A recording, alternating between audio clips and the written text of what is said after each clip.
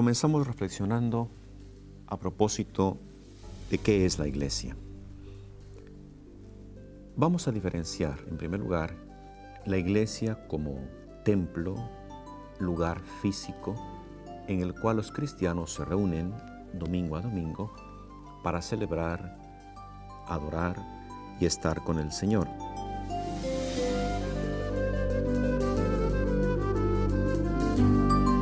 Tendríamos que decir que la iglesia no es únicamente el templo. Sobre todo, la iglesia, tenemos que decirlo, es el pueblo de Dios, que está formado por el conjunto de todos los católicos del mundo entero. Es decir, la iglesia, lo más importante, no son los templos, sino que son las personas. Es esa gran familia a la cual Dios, a la cual Dios nos convoca, nos llama, nos invita a participar y en la cual somos realmente sus hijos por la fe y por el bautismo.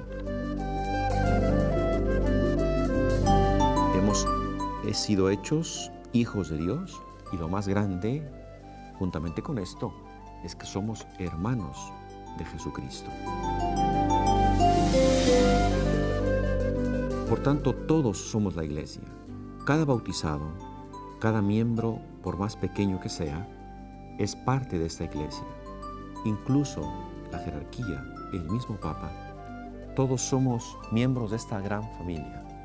En definitiva, somos los hijos de Dios y los hermanos de Jesucristo.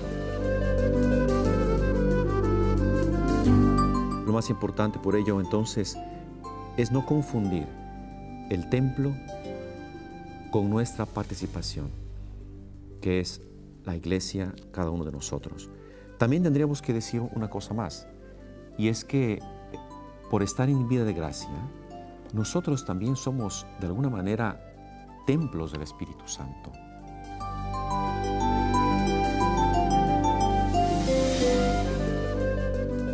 Como diríamos, una iglesia en pequeño, una iglesia ambulante, una iglesia que va en oración cuando hay esa unión con el Espíritu Santo. Y también podríamos decir que la familia es la iglesia doméstica, así como la definió maravillosamente Juan Pablo II cuando dijo que la familia es una iglesia en pequeño, también tendríamos que recordar esta importancia, la familia como lugar de evangelización, lugar de encuentro con Dios, pequeño cenáculo en donde los papás, los hijos, forman esta pequeña iglesia.